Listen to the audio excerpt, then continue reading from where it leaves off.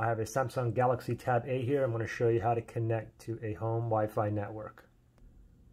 First thing is go into your settings. So you can go ahead and just swipe up here on a screen like this. Oops. Just go ahead and swipe up and then you want to go directly into your settings app right here. And then you have the first one up here is connections. Tap on connections. And then you want to make sure your Wi-Fi is on. So you want to go ahead and toggle this on. And now what you want to do is tap it.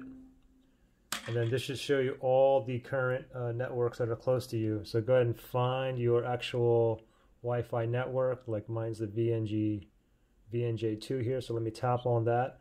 Now it's going to ask for a password. I just entered my password. Let me click on connect. Hopefully that is the uh, correct password. And we should see the Wi-Fi icon up here. There it is right there. And you can see it said not connected. Now it says connected. And I got the Wi-Fi um, bar or icon up there as well. So there you go. Pretty simple.